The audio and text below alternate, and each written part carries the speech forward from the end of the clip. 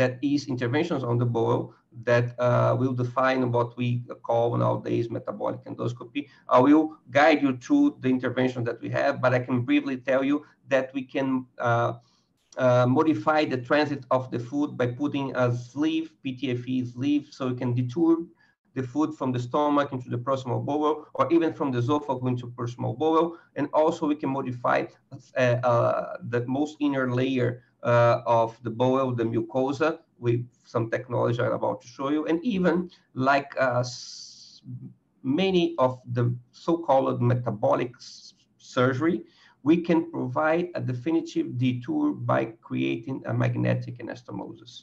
So let's go to that.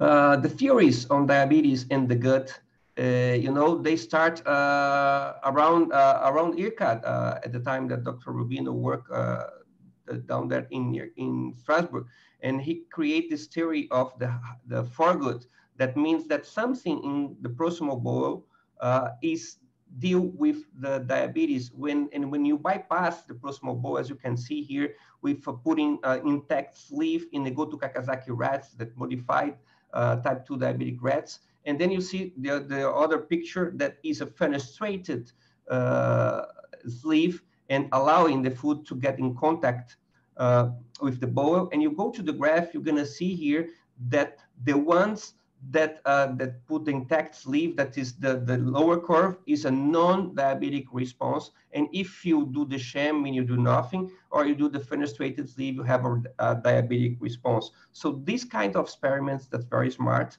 uh, they define, and you see here is from 2010, they define that the bowl really has something to do uh, with diabetes, not the, just the foregut, but the hindgut theory. So I'll start with this uh, proximal theory talking about the possibility of having a duodenojejunal bypass with a GI sleeve. And this uh, will show to you how we do it. So we do an endoscopy, then we put a guide wire. Over this guide wire, we're gonna slide a capsule. Inside the capsule, like a parachute, we have a 60 centimeters, two foot sleeve made of uh, PTFE. You have this ball, the inner catheter, so you're negotiating your passage into the, the bowel. Then when you reach uh, your target, uh, you stand the, the full sleeve, you let go the ball, and then you rearrange the capsule into a post-pyloric uh, position. You will open up a stent that is inside. The stents have 20 barbs, 10 proximal, 10 distal, so you're gonna fix that in place. So after that, you remove the sink piece and go home. How it's supposed to work? So you see the food passing in yellow and the biliopancreatic juice passing in green. So they go aside and they're gonna mix like a, like a, a, a biliary limb of a gastric bypass. How to remove? You have a customized cap, customized grasper. So you grab it, collapse it, and then remove. It's supposed to be for one year into the body. So how it really works uh, is, uh, is a matter of discussion yet, but we have some of the theories that I, I previously discussed. And this graph show the results. So this is a four quadrants graph. So if we go to the inferior left, you're gonna see a lot of dots. There are patients treated with the uh, this endosleeve. You're gonna see that in that inferior left, they lose weight effectively and the H1C, the glycated hemoglobin goes lower. If you go to the upper left quadrant it's just patients that lost weight. If you go to the right upper quadrant, have uh, no effect. And the inferior right quadrant, you see patients that just uh, lost weight. Uh, so you see here that the ones who benefits, they goes and they lose weight and the H1C, they drops. If you go in terms of weight loss, just weight loss, you see here that the longer studies that we have done in Brazil and Chile, uh, they surpass 15% of total weight loss. So it's a very interesting uh, result on that. Uh, we have been studied that fistula for... is identified once again by the gastroscopist in a gastric fold. Sorry, uh, I think that is some, yeah, so we get back. So this uh, paper on the screen is done by ASGE and is, is called the PIVI study. This PIVI study is very interesting. So when they evaluate uh, gastrointestinal devices, so in this specific one, uh, the goal is to reach at least 5% of total weight loss uh, no more than 5% of, of severe complications, and at least uh, one point drop on A1C. So let's see how it goes. So those in the screen, they are papers non-randomized, and you see here different uh, three months, six months, and one year, but just uh, guide yourself by the red losango and this is the meta-analysis of those. So if you go down, uh, and down you have some numbers. So if you go to the right, is 0 plus 1.5 plus 3. So it means that uh, the H1C get worse. If you go to the left, it means that it drops the H1C. And you can see here the losango that, that sits under 1.5 drop of H1C. So it uh, fulfills the task. And also those three randomized control trials, again, go and guide yourself by the losango. It sits again over the 1.5. So it's effective on, uh, on dropping the, the H1C. Also, and that is the trend. So you can see here the sleeve. The leak is uh, quite uh, on the. Uh, okay. Uh, see endoscopic and X-ray, please. Sorry. Uh, so I'll, I'll go go ahead. So this on the screen uh, is a study very well designed and done by the NIH uh, in uh, UK and how it was done. So it used the device uh, plus liraglutide that is GLP-1 analog. Device alone and just the drug itself alone. So in blue, we have both combined and you can see here that the weight loss on the left and the H1C uh, on the right was really magnified when you combine the device and the new drug, and we'll compare with device alone and drug alone. So in, uh, in, in summary, how it works, it drops H1C by 1.5. Uh, more than 50% of the patients reach the therapeutic goal if compared with medicine is very good. That is a, a, an average of 13% of uh, total weight loss, and it uh, improves the cardiovascular uh, risks, uh, risks of the patient. That said, it, uh, it went for many trials in South America, in Europe. They got in the way they were clinically used in South America and in Europe, and they went to US to do the FDA trial. And uh, this trial was suspended and stopped for a reason that uh, uh, we really don't know why, but the hepatic abscess, as you can see on the bottom of the screen, that was no more than 1% all over the world. When it got to the US to a specific trial, there was much more, and 3.5%, so the study was suspended.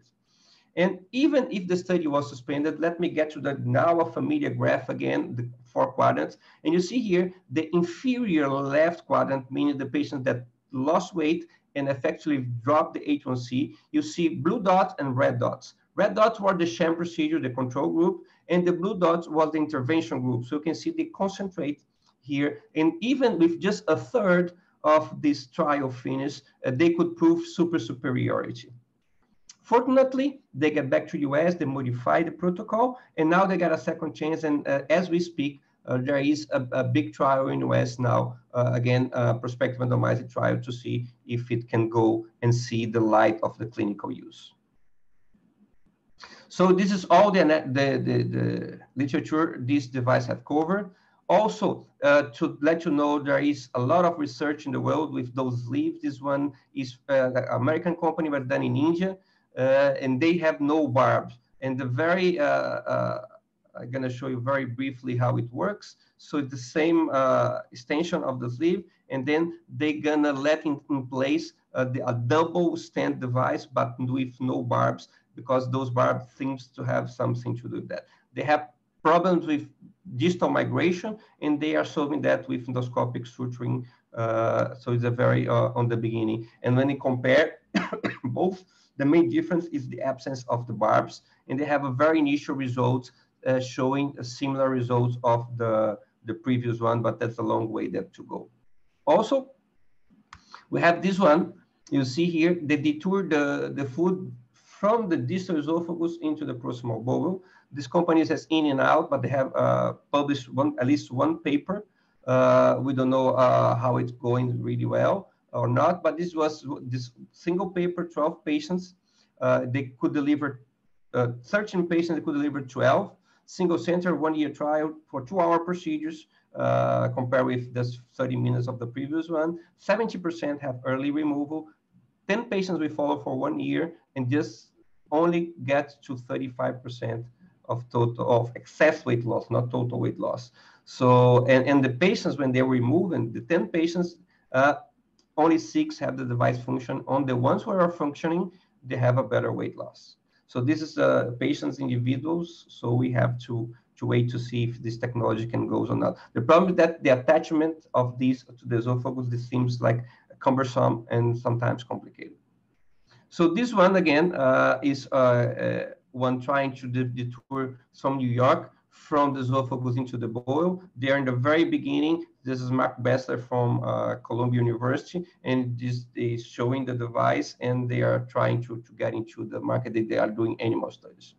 The next one is the thermal duodenal mucosal resurfacing, so the thermal ablation of the mucosa. And the theory behind that is the mucosa of the duodenal is part of the problem of the diabetes. And if you ablate that, the new mucosa, a non-diabetic mucosa, will arise from that. So they start in the rats again. The, the old uh, uh, uh, old friend of us that Goto Kakizaki, the diabetic rats. So they mechanically ablate the mucosa on the rats, and you see here the graph is, is on the on the inferior left. You see here the ones who are ablated have a non-diabetic response, and the sham on the other groups have a diabetic response. So it means that it could work. So then we went to uh, a larger animal uh, model, and you can see here below the mucosa and on the A, I have the normal mucosa, D3 after ablation, D4, D28 after ablation, and D42, you see that the mucosa is a little, uh, uh, not as organized in the beginning, but the mucosa is back and you didn't damage, and you see that the muscular layer. Then we went to the cadavers, first in human, this was published in Video GIE. This is the procedure. So the idea is to do an endoscopy, uh, identify the papilla, tattoo the other side or put a clip to see where it, it is. Then we go uh, we go directly into the triangle guide wire. Then we slide this uh, special balloon. It will touch in the mucosa in three points and in three spots. Then uh, I'm gonna aspirate the mucosa, get a needle, and inject 10 cc of, of uh, methylene blue saline solution. And you see a 360 lifts. So we're gonna lift, dislodge, half centimeters, lift again, then apply circulating hot water, 87.2 degrees for 10 seconds. So two lifts, one ablation, two lifts, one ablation. So the idea is to go up to the triangle around 10 centimeters of ablation. And after that, you remove, you check, you're gonna see here the, the, the naturation of the protein, so it alters the color, so meaning that you have some action. And the patients, uh, they will go home uh, two weeks of diabetic uh, liquid diet, and they resume the, the diabetic uh, diet. So see here in images. So see from left to right, pre, then you have the lifted mucosa in blue, then you have just post ablation, and, and on the follow-up, you see the mucosa is get back. So to just to get you up to speed, a very, very brief video. So this is the setup in Brazil in our university, at the uh, AABC University. The device is inside the lumen and then you leave the device and you're not going to see anything because you need to aspirate over that to have a side seal. So just look after the mucosa just after the burn. Looks very, uh, I can tell, uh, burned. But uh, when we go to one year follow up, you see the mucosa is pretty much beautiful with no scars on that. And uh, this is the, the development. We start with uh, more than one hour procedure, hour and a half. Now it's 45 minutes. It's in the right. Uh, those are biopsies uh, done one month and three months random on the area, on the target area. And you see here that the, you have complete villus formation, no acute inflammation, no chronic inflammation. Just go to the right and you see, uh, I'll give you a moment to check that we are just really uh, burning the mucosa. So the mucosa is back again. So complications, uh, this is what the most common on the beginning, that is stenosis on D2, D3, and it was because uh, uh, not a technical error, but the development of the device. And after the first, second generation didn't have that much, but you see here that even those was uh, easily solved with endoscopic dilation. So we uh, and then published the first series in diabetes care. Then the second series international uh, with Europe uh, was published in the gut. And this is the results. So on the left, what you see is H1C again, and you see a drop on H1C at 24 weeks that is sustainable uh, after uh, after one year uh, on that. So again, you see this four graphs, uh, you see, uh, I'll guide you through the superior right one is the weight. So it's a very minimal weight loss. And uh, look uh, on the inferior right that the drop on LAT, so the hepatic enzymes, they go a dramatic uh, drop that is confirmed with MRI and uh, FibroScan, you see more blue on the right, less fat. So look at the impressive results we have on that. So not just the, the diabetes, but the fatty liver disease get better. So, and I'll show you now uh, the top line results of a prospective randomized big study uh, in between Europe in, uh, in Brazil. And you can see here on the left, the DMR, that's the, the intervention, and the sham group, uh, significant difference. And if you go to the right, the responders, you have an even more dramatic action on that. So this study is now uh, on FDA evaluation and a prospective randomized sham controlled trial. Uh, as we speak, they are, they are doing that, They stop for the pandemic. So let's see next year the big results on that. So this is how, what we cover. Again, like the other one, the sleeve, there's a lot of uh, research on that because it like raised a lot of interest on the on the field. So like they using the laser to do the ablation. They have a very small result company from Israel, six patients, and they have drop of one point on H1C. Uh, we don't know much more about that, how they do or not. They just present this very small abstract on the Diabetes Intervention uh, Congress in New York. And you can see here, sometimes uh, I get a bit of a little bit nervous uh, with sleeve and uh, or lasers. And uh, maybe we can have, a, it's a, for sure is a joke, but we have to see how they're gonna use the lasers. They have to show us. So nothing to cover from literature.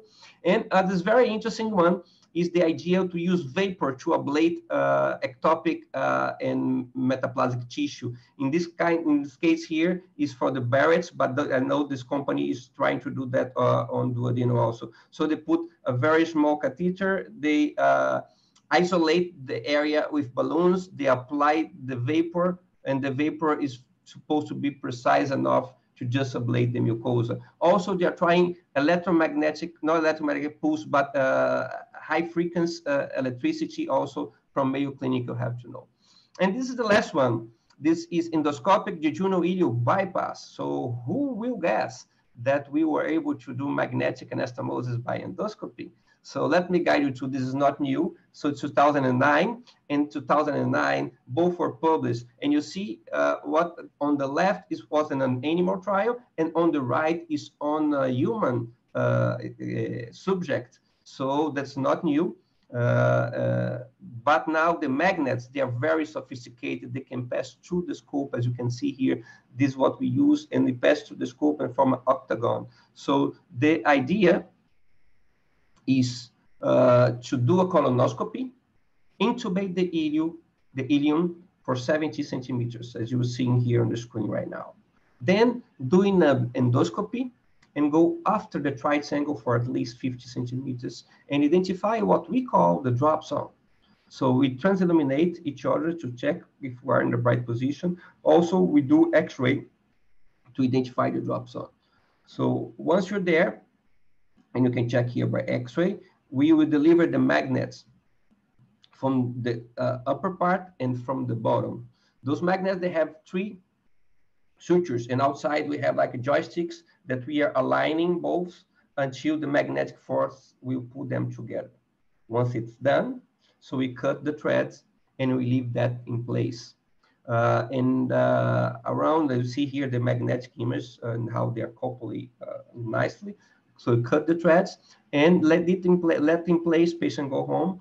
Seven days, around seven days, you compress and you form uh, a passage and it will be a lateral, lateral uh, passage detour uh, and quite some of the metabolic surgical procedures nowadays use the same approach, uh, but surgically.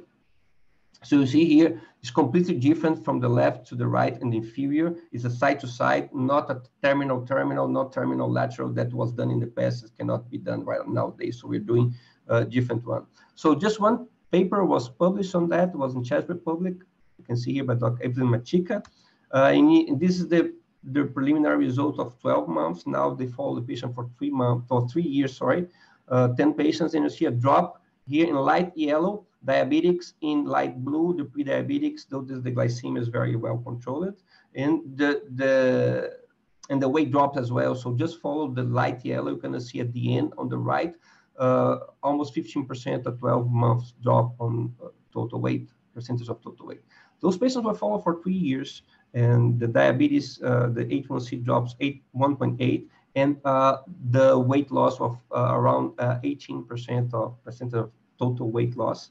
And at the, the end of the three years, one of these patients developed an internal hernia that seems to be the Achilles tendon of this technique. So this show you here on the left, you see the magnet getting out of the, the lumen. On the right, uh, for safety, those this trial need to have a, a, a, laparoscope inside. You see here that magnets, when they attach it, they are very firm uh, on, on getting on that. On this next screen, what you see here on the left is three lumens. So it's the anastomosis checked after three months.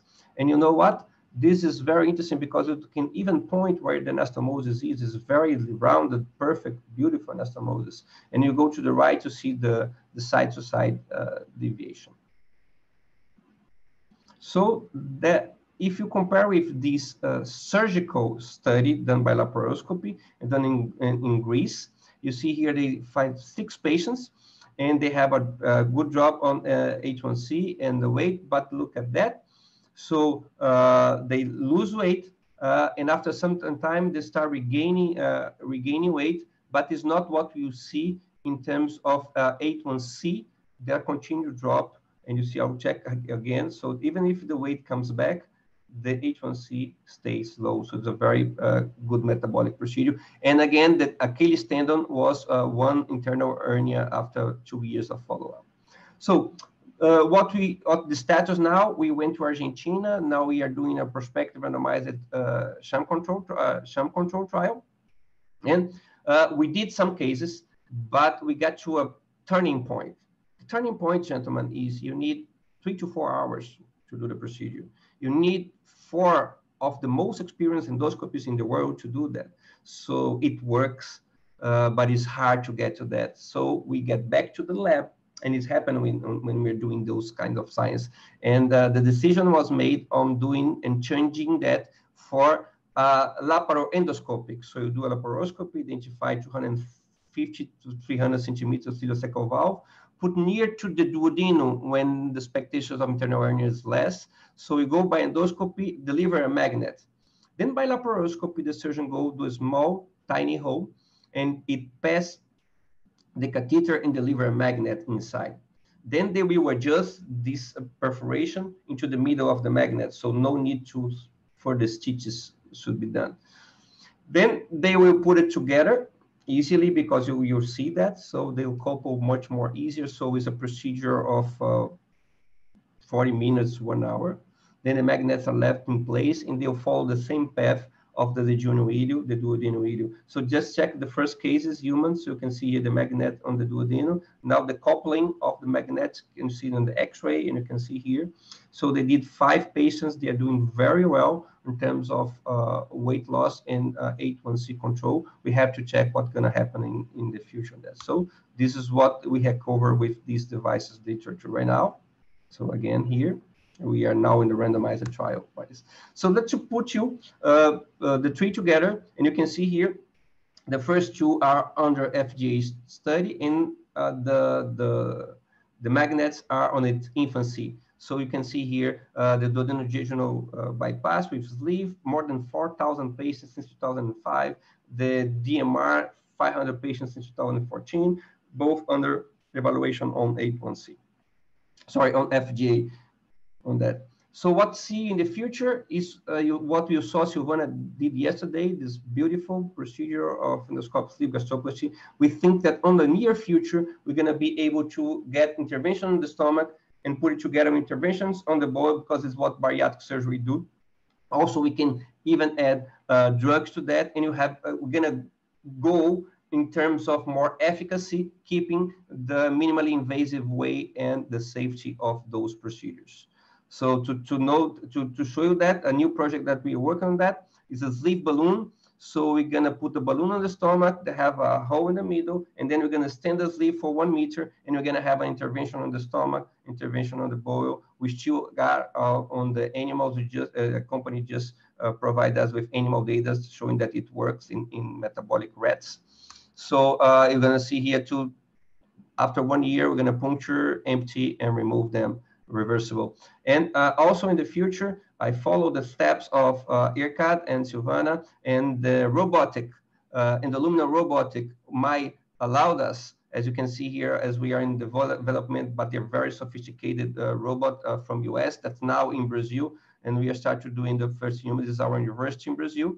And uh, this is, uh, we are developing and before the pandemic, and which we think we will resume with human cases as soon the pandemic get better in my country. So again, just to show you what it can be done in terms of the what is a cadaver that we have done in uh, in Houston. But you see here, uh, it's, it's, for sure it's not on that speed. It takes a lot of time now. We are on the learning curve, but you can see here full thickness resection uh, on the cadaver on the rectum, and uh, more than that, the suture uh, will be very easy. And uh, we know their IRCAD is pursuing this path and they are very, very uh, much advanced than us uh, on that. So this is, uh, and we can do the metabolic procedures uh, with that in the future for sure. So this is what I have to show to you. I thank you very much for your patience and I'm here for any questions that, that you have. Thank you. Thank you, Manuel. Thank you very, very much. Beautiful presentation as, uh, as usual, very wide uh, uh, portfolio of choices. Um, the, the, floor now is open for question. You can either interact by the Q&A option or you can raise your hand and we're going to give you uh, the, the floor.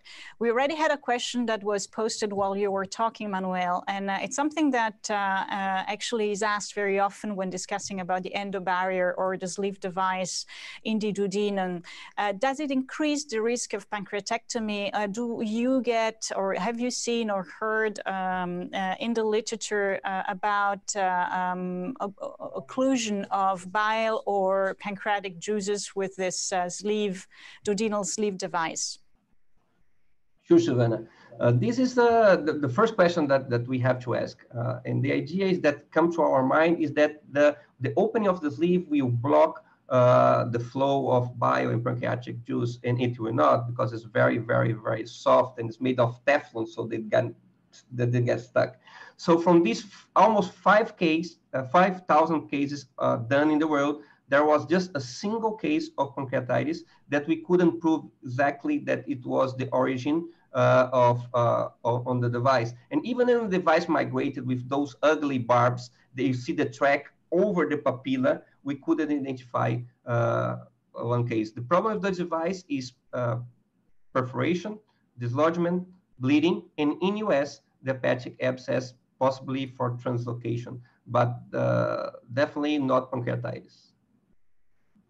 Thank you, Manuel. Um, actually, while we're waiting for uh, for more question from the audience, uh, I have a question myself. Of course, you describe multitude of device. Um, uh, what are the exact indication for these devices? Which patients you would do this procedure in, and what would be today uh, the device of uh, of your choice?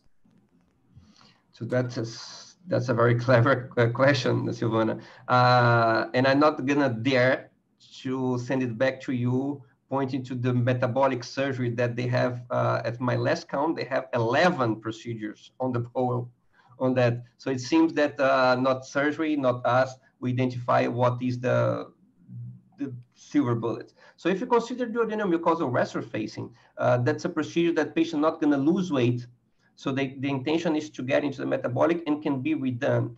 And now that, uh, that uh, the, the research discovered this impact on the liver, it will be used more and more uh, in the liver. Uh, the one that I like the most is the older one, and then I know that you like uh, also is the, is the sleeve. Uh, we have to fix the problem of the, the stent itself, but the patients, when we follow, and you have done that beautiful job and pub published that in, in, in Meerkat, patients love to have it. So they drop weight and they drop H1C. So this is, this is very interesting. 13% is very interesting. Uh, and uh, 1.5 to 2% drop on H1C, that's beautiful. The anastomosis, the magnetic anastomosis, we are doing uh, a definitive modification. So we go a little bit further. So there's no way back on that. And uh, again, they drop weight and they uh, and the H1C is very well controlled, but we can have, depending on how far we go in the bowel, more uh, problems with nutrition. So we have to balance patients in seeing that uh, how uh, how sick they are, how how hard is the diabetes to choose as as we, we choose the medicine to treat them. Then I think that we're gonna need both all of them uh, to different type of patients, I think, in the future. Thank you, Manuel. I know that that was a tough question uh, to, uh, to answer. We have a, a, question from the audience. A participant would like to ask you something, so you can go ahead, sure. please. I'm Dr. Naeem Taj from Pakistan, and uh, Manuel, as usual, you are presented with wonderful presentations. So uh, my question is that hopefully, on a lighter note, hopefully this endo barrier will not prove to be a certain barrier for bariatric surgery. My question is that this endoscopic duodenal mucosa resurfacing, resurfacing, can it uh, reduce the weight of the patient also? Uh, sorry, uh, the last part of your, your question. that endoscopic duodenal resurfacing procedure can reduce the weight of the patient also? Uh, not not as not as we want it. Uh, so it's more a metabolic uh, one. So we think that if you need to lose weight, you cannot have to attach another procedure uh, on that. We can improve the reach of the metabolic uh, effect of these. So we are now uh, on the verge of new discovery in new research collecting stem cells from the ileum, and you know that the ileum produce the GLP-1. So after doing the, the, the resurfacing, the idea is to inject stem cells on duodenum and let the, the, the new mucosa be very near, uh, very uh, look like the ileum. So the idea is to have an ileo interposition on a cellular level, but uh, we are like five years uh, from that. But for weight loss, this is not a procedure. It's just for, it's more for metabolic conditions. Thank you. Thank you. Okay, Silvana, uh, I have uh, two questions. In fact, by Aslam. The first one is were any of the failed endobarrier interventions related to allergies to the endobarrier? Uh, sorry, the, the last the last part was it was breaking if some failure of the endobarrier were related to allergies to the to the to the device. Wow, that's so that's a yeah, Bernard, that's a wonderful question. I have no idea. Okay, next, uh, duodenal resurfacing procedure. Is it your preference to start proximally and then continue distally? Are there concern with perforation? Okay, so you saw that uh, we present around 400 cases done worldwide. That was one perforation that happens uh, happens in Brazil in another center, not ours, uh, but it's due. It was done to the technical user uses of uh, technical issues with the uh, the one who are performing on that. So it's one in 400, and it was an old device. Now they changed the device and it's much, much better. So in terms of getting proximal and distal to the papilla, uh, with that device, it's not possible, but I know that uh, some researchers in Mayo Clinic using delivery of just uh, pure electric energy, high frequency, they can do that on the, uh, on the bulb, skip the papilla, and can go uh, even further than us. So we are limited to the post, post papilla or in between the papilla and the triangle is, is the space we are limited right now by this technology. But you, I, you saw that I show you uh, more technologies, and I think in the future it will get better. And even we can try do that uh, in the ileum or the other parts of the bowel and uh, ablation therapy. And uh, and I can give in, even to you, Silvana, that because uh, IRCAD and HIU, IHU is so advanced on ablation therapies, and I think that you guys already have something uh, on the on, on the on the horizon to do that. Maybe you cannot tell about the tell us about it. yes, no, no, no disclosure uh, possible. Thank you, Manuel. And uh, I think uh, because of uh, there is one more question, and then we will move to the next presentation. Sure. Yeah. Okay. so from our side, uh, we have some question Relax on the just wait. Yeah, what procedure do you prefer? So I think that you have answered this question. So yeah. we go through. Um, question from people around uh, the uh, long-term follow-up available for the magnetic anastomosis. Yeah, and, the, the magnetic, okay, go ahead, please. Yeah, no, no, no, go ahead for the long-term follow-up of uh, magnetic anastomosis. Cool. Uh, this is we we have uh, these patients. The small group were easy uh, to be followed, so they were all followed for three years and, and, more. And so up to three years, the result was really sustainable.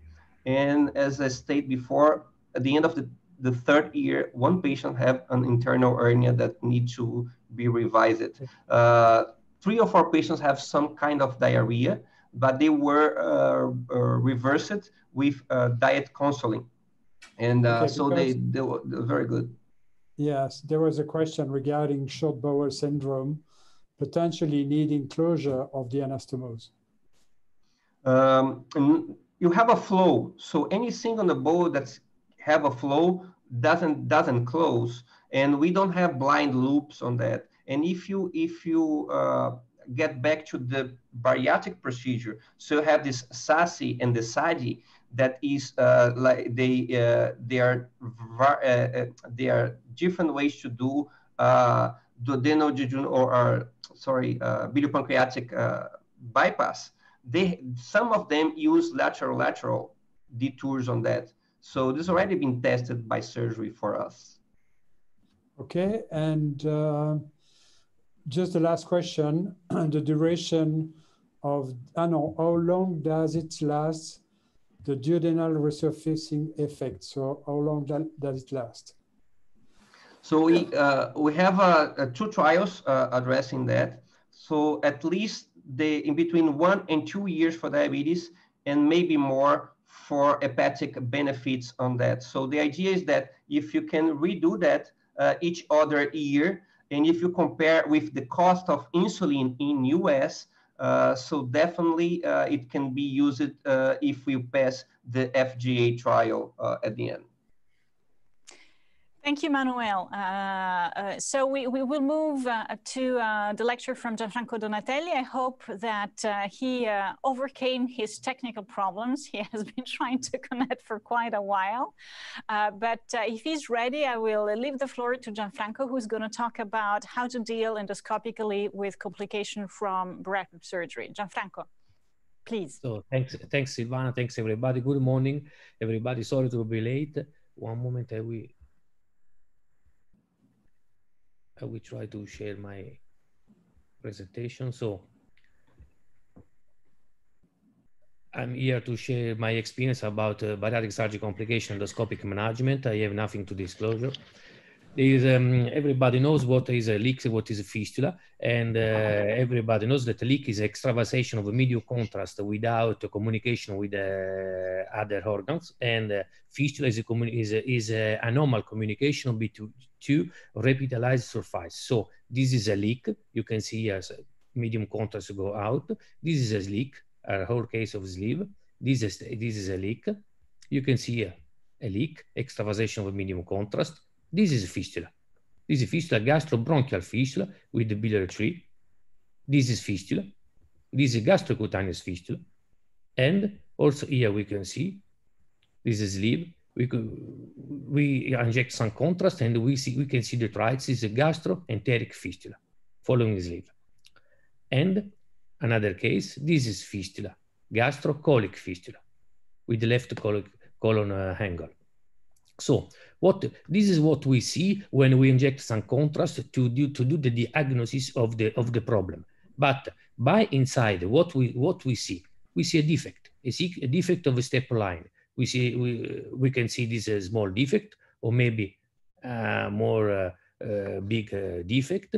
Sometimes we can have some necrosis inside. You can see that. Sometimes we can go inside. All the time I can, with the scope, pass through the defect to go inside, to go out in the peritoneal cavity, in the perigastric space. I go out to, to clean. To you can you can see here the drain inserted by surgeon. So I'm in a perigastric space below the diaphragms. I'm I'm trying to if there is some necrosis, I can also do necrosectomy, just like in a uh, walled-off necrosis after pancreatitis. I remove all the necrosis. I clean the cavity to have a better healing later. At, and one, one case, one another more case, you can see here, this is sleeve. There is a defect below the cardia. I go out, you can see here the reinforcement that you know better than me. This is much more for to prevent bleeding and not leak. And at this moment, what we can do? Seal the defect or drain the cavity, this pseudo cavity. You have to know that if we seal the defect, for sure you have to drain, so you are obliged to do an external drainage, radiological or surgical drainage of the collection, of the perigastric collection. If not, we, there is another, uh, another option is to drain inside the cavity. And this is what I do. I drain inside the cavity and I want, why I drain inside the cavity? Because I want, to, I want to show you this particular case. This is a patient with a sleeve. Maybe there is stenosis. I don't know. It's not my, I don't know. We, the, the patient was operated uh, two weeks before. So there is some inflammation. Look there. There is a, there is a drain. But still these patients have a fever and uh, PCR at more than 300 with uh, more than 3,000 uh, white uh, blood cell. So by EUS, I found a collection, a perigastric collection, just like pseudocyst, just like pseudocyst after pancreatitis. Then I puncture the, the, the pseudocyst. So I did a defect in the stomach to the liver. You can see some picture, I inject some contrast, then I dilate, then I, I deliver the pigtail, and I did a defect on the stomach just to have the in, um, inside the drainage of the pseudocavity, and there was some pus inside. So why not to drain the pseudocavity if the, if the defect is already open? I start, and just to show you, this is one month later, these patients, you can see there is no more extravasation or medium contrast. So if we have this kind of a situation, this, is, this is still a sleeve with the defect already open, with some pus that is coming out, why I, am in my experience, and uh, I cannot imagine to seal this defect, but I think that the better is to drain with the pigtail to have inside the drainage, and then the, the defect will be automatically closed. So you can see here the defect, and I insert, I will go fast. Insert the pigtail to have the drainage. And you have to know something that the pigtail is a both, aim. First aim is to drain. Second aim, it works like a, a foreign body. So in the pseudocavity, it favorizes granulation. So this pseudocavity that is there is there because is is pathologic because it's a fill of liquid.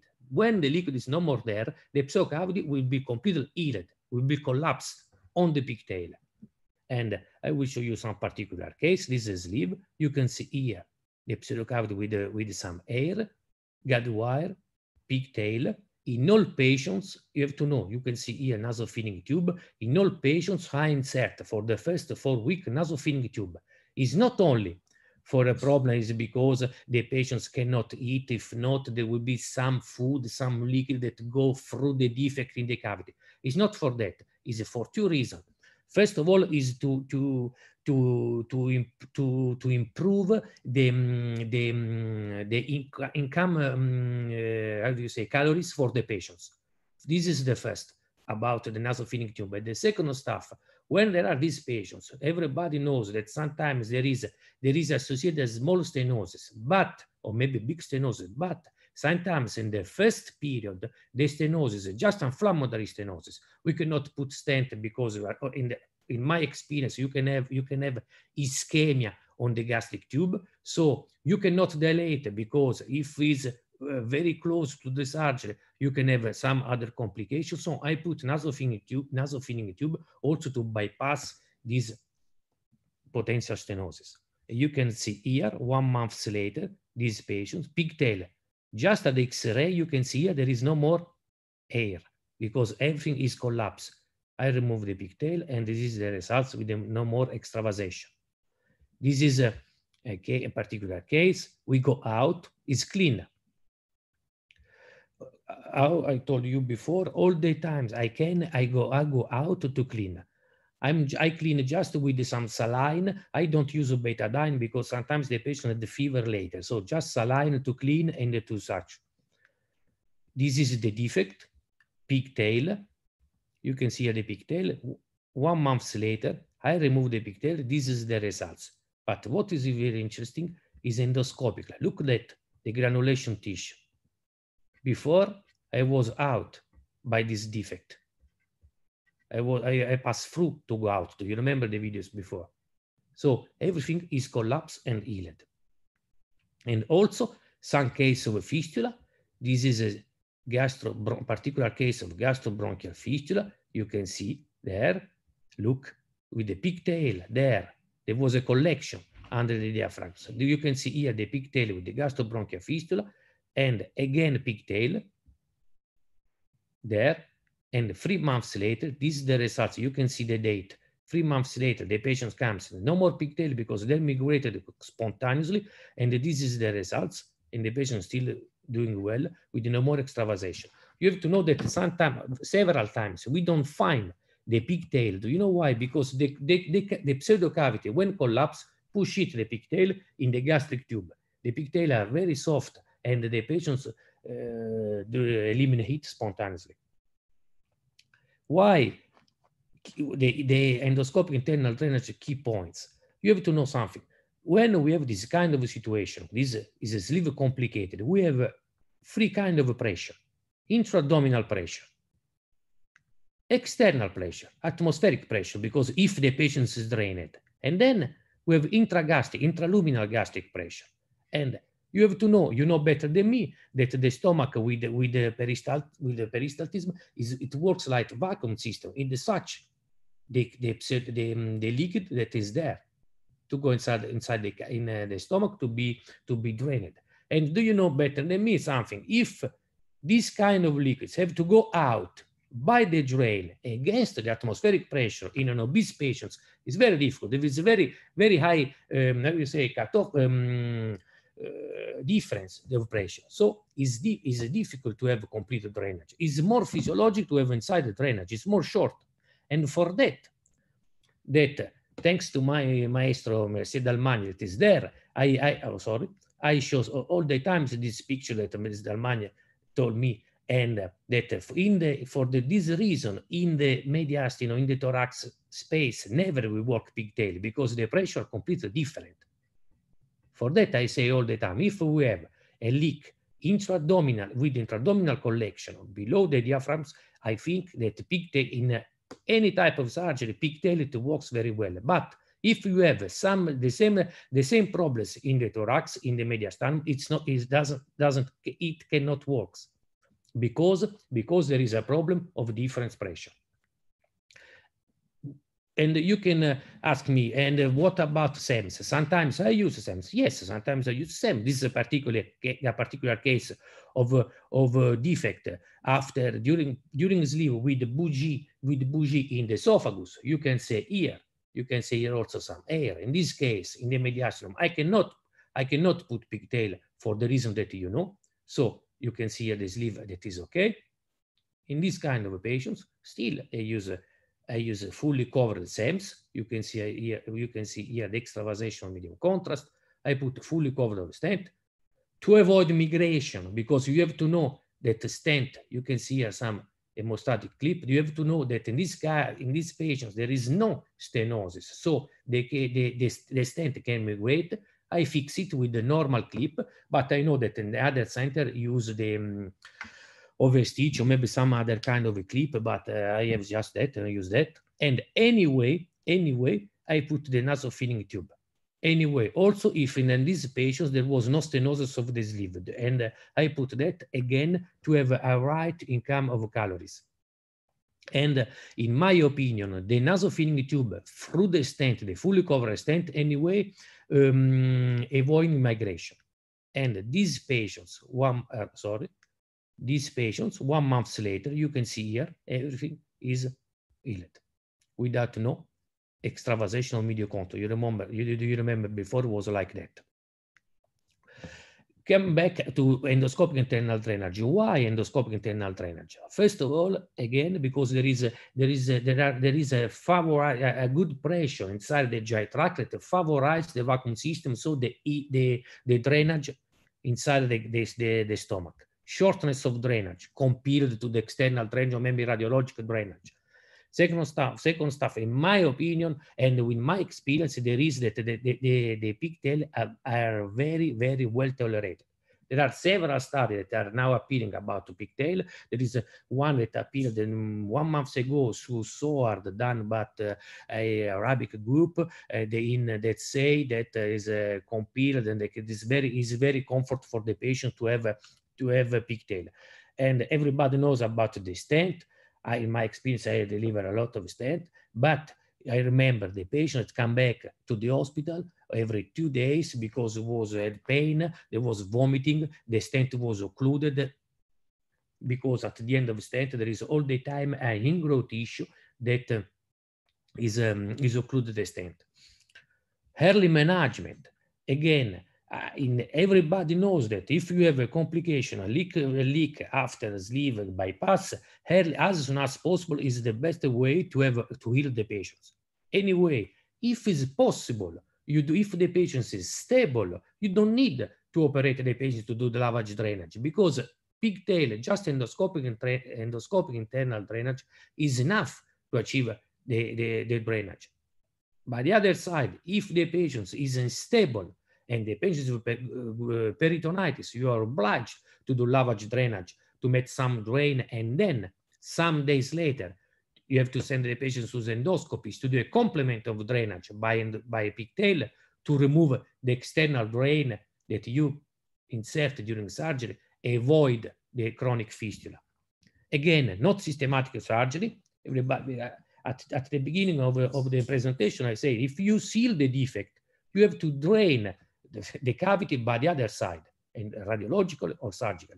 In that way, in, you can drain completely the cavity inside without need of reduced surgery. Anyway, in stable patients, again, in stable patients. Outpatient setting, in my experience, I put, um, I insert um, pigtail stent, the patient then can get home with the nasofilling tube and for the control come back to the hospital low morbidity. I will show you for sure we have a complication, but compared to the fully covered SEMS are very low. And in my experience also is very important. Also the economic impact is the pigtail in France is 100, one, um, 800 um, euros compared to 800 the fully covered SEMS. And there are some uh, several studies that say at least you need 2.7 SEMS for patients, so means 1,600, maybe 2,000 euro. When with pigtail, you insert free pigtail, free for pigtail, and leave there. And then you can sometimes, for sure, you have to do endoscopy to remove, also in the SEMS, but sometimes you don't find there anymore. So with the 300, 400, 400 euro, you solve the problem in, uh, in Obesity Surgery 2006, again, I published that about the, because a lot of surgeons say to me, if I have to, to operate the patients, there is a small fish, there is a small leak, a small fistula, what we have to do? Again, if the patient is stable, there is a localized peritonitis below the diaphragm, perigastric, on the, on the left space, space of the, you can if the patient is okay, you can send the patient to the endoscopy immediately to achieve endoscopic internal drainage. And this solves the problem. If the patient is unstable, there is a peritonitis, there is um, generalized peritonitis with tachycardia and some other signs of, of um, sepsis, several sepsis, you need, you are obliged to do lavage drainage and then to put some, some um, drainage near the defect and stop. Anyway, if you put stitch, it doesn't work. So just put some drain near the defect. And then How I do it, just uh, is uh, to show you exactly how, uh, how we do it. First of all, as soon as possible also in the next day if a patient in, a one day post-op there is some leak because you can say the patient is not doing well. You do ct scan and there is collection small small collection near the stomach you can do. If the patient is stable you can do immediate endoscopic internal drainage. Second stuff if the patient is unstable and has been drained so there are some drain near the staple line you cannot do immediate endoscopic internal drainage. You need to wait some days, at least between the five and the seven days, to do endoscopic internal drainage. But in that way, which is the interesting of, of endoscopic internal drainage, I put pigtail. The, the, the cavity is, is partially drained by your drain. It will be drained inside the stomach.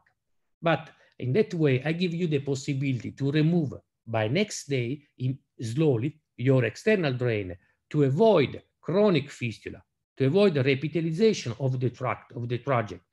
Because if, you, if your drain will stay there long time, you will have gastro, gastrocutaneous fistula. So my, the aim of, a, of endoscopic internal drainage in a patient with drain is to, to, to do you the possibility to remove early, as soon as possible, your drain you, to favorize an internal drainage. And we publish also that in um, obesity surgery, and we show you this is a patient with the collection that was drained my pigtail. And in that way, you have to remove that rapidly to avoid gastrocutaneous fistula, chronic fistula, and that way the pigtail assure the endoscopic internal drainage. Again, for the first four weeks, I, in all patients, I insert a nasopharyngeal tube. And then at one month, all the patients come back to the hospital to do endoscope, um, endoscope control. I remove the nasopharyngeal tube the pigtail are still there. I don't touch the pigtail, and all the patients start normal diet.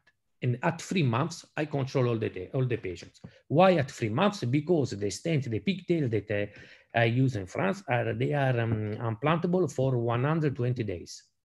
Because if not, you can also live more. And anyway, the pigtail are there to favorize granul granulation. In, uh, in the moment they call the, the, the pseudo at the moment they call the cavity, the pseudo cavity is completely closed, the, the pigtail will go out, will migrate. Again, about morbidity, for sure we have morbidity. We have some ulceration at the extremity, at the end of the pigtail. We have migration in the spleen. We have several migration in the spleen, unfortunately, but do you know why? Because when there is here the collection and you put the pigtail, at the moment the, the, the collection is no more there, there is no more liquid, the pigtail, maybe this is a little stiff, this is anyways a little stiff. There was some migration in the spleen. All the migration that we have, we remove by endoscopy without any problem. But again, when I remove the pigtail migrating in the spleen, the surgeon was uh, was uh, uh, was there because if something happens, we have to operate the patients immediately. And we have also that you can see a vascular fistula this is the, sleeve, the collection, and there was a vascular a vascular fistula. We have some case, some case of, vas, of uh, vascular uh, fistula, and um, uh, all the patients were embolized successfully. And I will show you something. You can see here, we are the defect below the cardia. My pigtail, Do you can know what is there. I, I'm working there. The, the, the, sorry, I'm working there below the cardia. This is the splenic artery. So you have to, anyway, you have to be careful when you insert the guide wire, when you insert something about that, because it's, it's easy to have some injury. In my experience, we have some bleeding in uh, during the, the delivery of a pigtail, but without any problem. But we have some bleeding for uh, important bleeding again for the fistula with the vascular system that was embolized. But no patients die for that. And once I had also this, this situation. I don't know if you can see, this is the hair in the portal system, and we have aeroportia. So because I'm working there, you can see the sleeve. Like this is a sleeve bypass. I don't remember. There was the, um, the, the drain, there was the fistula there, but there was, I have some leak in the portal system. So what I suggest is to use, is imperative to use, high, uh, to use CO2. So if you do endoscopy to put the pigtail, uh, be careful, you have to hold the time use CO2. Uh, If another if know, by the other side if sometimes we have a small cavity a pseudo cavity that still stay there despite the pigtail with the septum as Galvao uh, described i perform septotomy and it works very very well i cut the septum and um, without any problem without any complication and this Galvao reported uh, for the first and you can see here this, uh, sorry, this particular patient that a chronic fistula. I do, uh, personally, I prefer to do with argon plasma to avoid the bleeding. I prefer argon plasma, not to cut with with needle knife or other, other devices that are, are expensive. I'm a poor guy. So I use argon plasma. I cut it, I cut the, the, um, the, the septum with, um, with the, using forced coagulation and then just like for the um, Zenker diverticula, I put a clip at the base of the septum there. I don't know if uh, in the video you can see, yes. I put a hemostatic clip. Do you know why? It's not to prevent bleeding. It's just to, to, to favorize ischemia. And the next time is more easy to cut because I don't do, I don't cut immediately. I do one, one, one, two centimeter. Anyway, depends of the length of the septum. But anyway, I arrive on the first seance and the first uh, session to maximum two centimeter. And then I put, I put the clip. Next time you will find um, fibrosis is more easy to cut, but these patients, just to show you that the technique is, works very well, look, there was nothing more, nothing more. Everything was completely revitalized. So it works very well if at the end of endoscopic internal drainage, it persists in pseudo cavity with the septum to do uh, septotomy.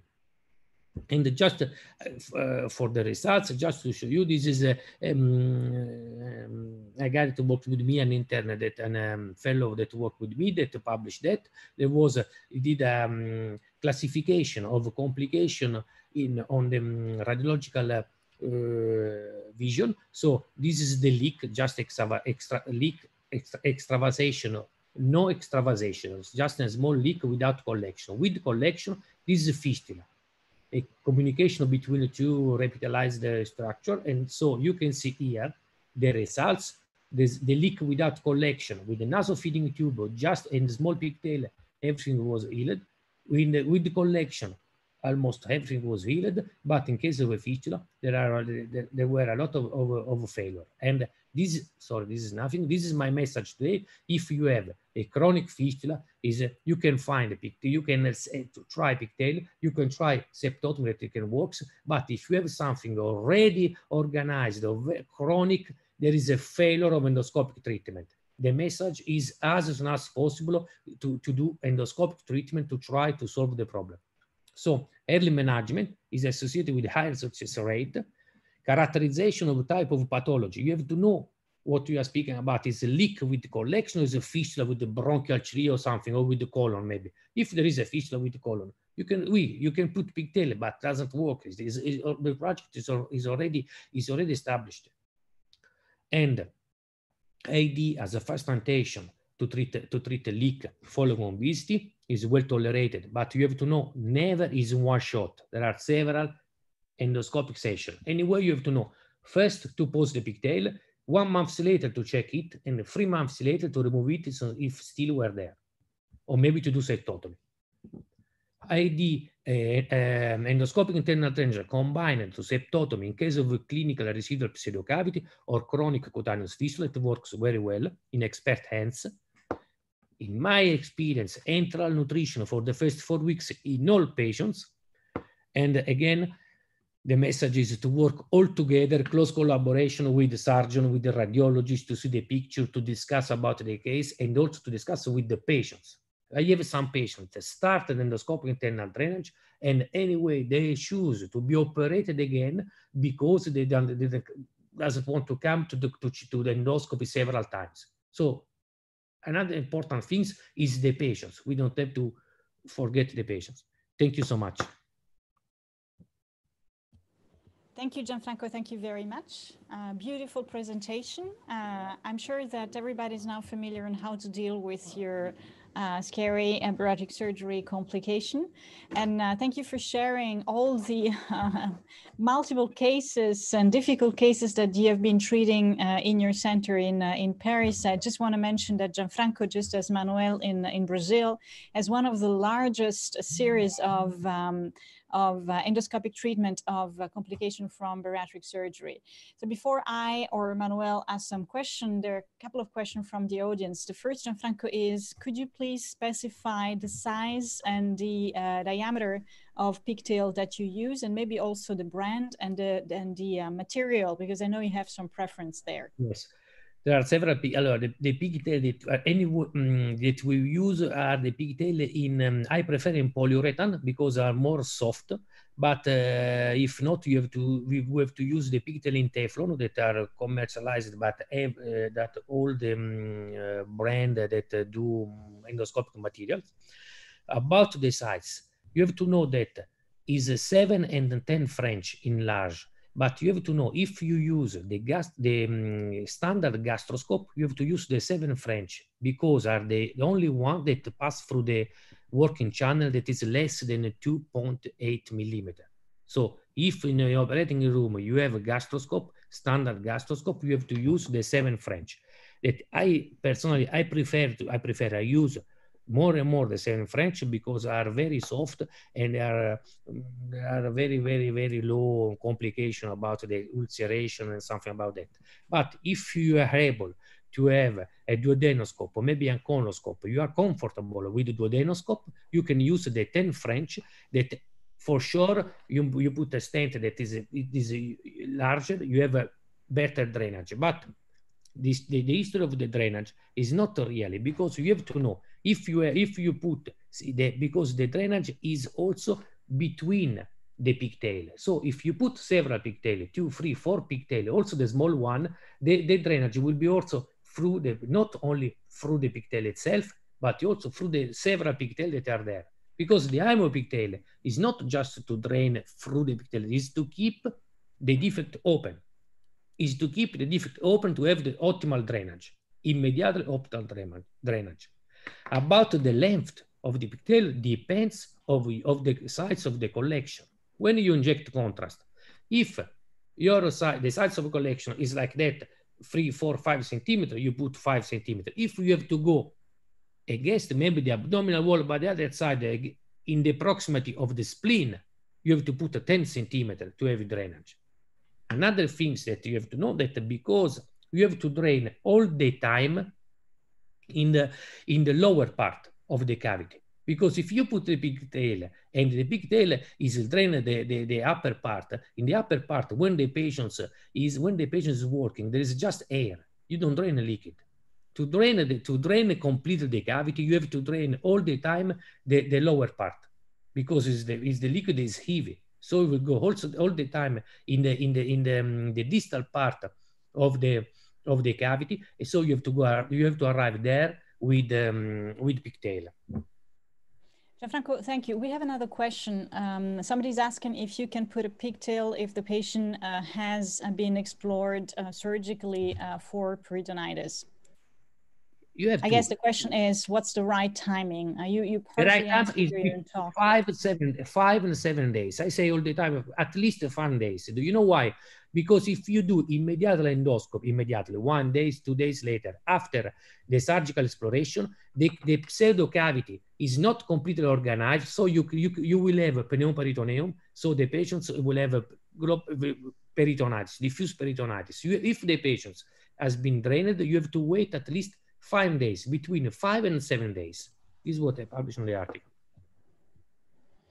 Manuel, any comment? Yep, uh, as usual. My dear friend Gianfranco, how are you? How are you? Thank you. So, uh, yeah, bom dia. so, uh, that uh, you know what, these things change, and we always change because we're in the favor of the patient. So that's the question that we have to, we need to have uh, in the conversation we need to have every single year. So, what have changed in your workflow and opinion about? About uh, the other methods because when every time we, we write about uh, the treatment of the leak, especially for sleeve gastrectomy, uh, there is at least seven methods that is described as being used. Uh, so I wanted you to, to put to us uh, how is your, your current, because it changed, uh, opinion about the use of stents, specifically bariatric stents. And also about the over the scope clip that a lot of people have some fetish that they're gonna work.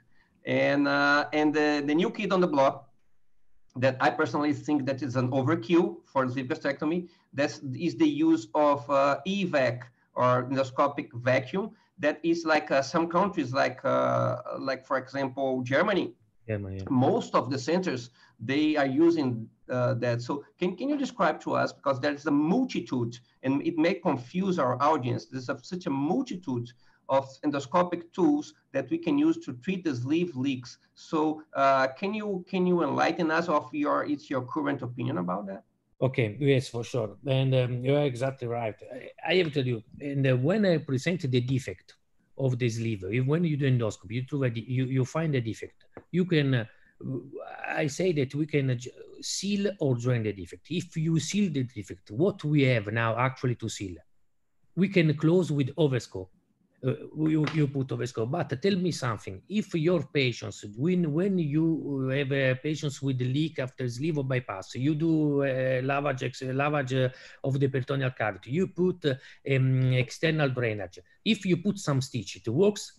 I think no. Everybody knows that it doesn't work. But tell me why seal of the defect by inside with the clip over scope could be worked if your stitch that are maybe are more more um, let say more, uh, you have a more, more straight doesn't work doesn't work do you know why because the age of the of the of the stomach of the of the, the wall the gi wall is already fibrotic is already inflamed and in my experience, I didn't show because we don't have time. Or at the beginning, when I started with the overscope, three days later, one month later, all the overscope was out.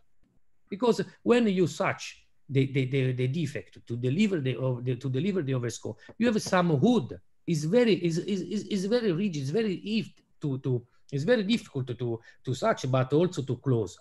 And I published also that in a several in one study when you do perforation, GI perforation, and immediately to close with with overscope, it works very well. 100% of case of such because everything is soft is immediately. But if you if if the inflammatory cascade is already done, just one day later, is already inflamed. You cannot close anymore. This is my experience, and uh, it's not in, in a huge case of a patient. I had some problem, and for that I don't use anymore. I don't believe at all in this kind of a clip in this situation. With about SEMS, there are some cases that still I use SEMS. I show you when I'm uh, some defect when is some defect in the mediastinum, in the mediastinum, when there is the lower esophagus with some problem in the thorax, in that case, still I use fully covered SEMS. And sometimes I use also, sometimes fully covered SEMS coupled with with with pigtail when there is a very tight stenosis, a very long stenosis in patients that uh, there is a, a delay that of at least three weeks by surgery, by by index surgery still I used SEMS as complement of uh, with the, with endoscopic drainage to have um, to heal the problem. What about the vacuum system? I have to use something I didn't use, but I believe a lot. I'm trying to have here in my clinic vacuum system. I'm I'm uh, doing all the stuff to have. Do you know why? Vacuum system, if you think is a sort of drainage, is a continuous drainage of the collection is a continuous. Is a is a is more for sure um, compared to big pigtail is more more fast. Is a is a continuous drainage. I believe a lot in the vac but unfortunately i don't have but i believe a lot. I think i hope in september to start with that. The only problem manuel do you know what is? These these obese patients are particular patients so with the EVAC, you have the, the, the, the, the, um, the, um, the, tube that is going out through the nose, through the nose. Then the patient have to stay in the hospital for all the period with such pump uh, uh, uh all the time. So these particular patients sometimes are complicated to manage. For that, pigtail is uh, is uh, is more easy to give to to, to accept to the for the to the patients, but EVAC, again, I believe a lot of think this is a solution. There are some studies that appeared that are uh, about EVAC. The only problem is the length of treatment. Did you see? There are sometimes the patients stay a long time in the hospital, and this is difficult to manage. And anyway, is another stuff you have to change the, the, the, the sponge every three, four days. So every three, four days, general anesthesia, you have to, to, to do all the procedure every three, four days. But in uh, I spoke one sometimes ago with uh, with a guy from uh, Germany that is a huge experience and they had a very very good results also for big cavity and they go very fast the healing. So uh, I, will, I will say something that will really surprise Silvana 100%. Gianfranco, I 100% agree with you. And as a person, that's shocking. I'm, I'm, I'm, it's shocking. And this as a perk of that, you see, I will offer you, uh, and you just gonna have to reach me, the Brazilian way to do EVAC. No sponges, just a nasogastric tube. You put a four by four gas gauze. You ah. you pack that with uh, with plastic. You put inside that. Uh, you have to to to change that every seven ten days. It's about to be published in US, and it's about the same results. So Okay, uh, and Silvana, I'm, I'm sorry to say that I, I, I 100% agree with Gianfranco. Oh. Yes, I was hoping for a little fight to end this second session uh, before thanking you, but I think it's it's gone so smooth, and uh, we will leave it with peace and love because it is uh, it is a, a big surprise uh, uh, for those of you who are listening. Manuel and Gianfranco used to have this fight of a SEMS over pigtail, and I've seen that in the audience somebody has asked question, which one do you prefer? Uh, but I think really it's a matter of of timing of of the fistula in the setting, pretty much everything is uh, is working. When they become more chronic, I think that uh, uh the general preference is to use either a pigtail or uh, or endosponge, and also location is important. Um, I'd like to thank you very much. I'd like to thank my two speakers and friends, Gianfranco and Manuel. Um, I hope that you enjoy spending a couple of days and a couple of hours with us. I hope to do this again very soon. Uh, please send us uh, uh, feedback and comments. Uh, we'd love to have you uh, and uh, good luck, stay safe, and see you very, very soon. Thank you. Thank you, Silvana. Bye. Bye-bye. Bye-bye. Ciao. Thank you.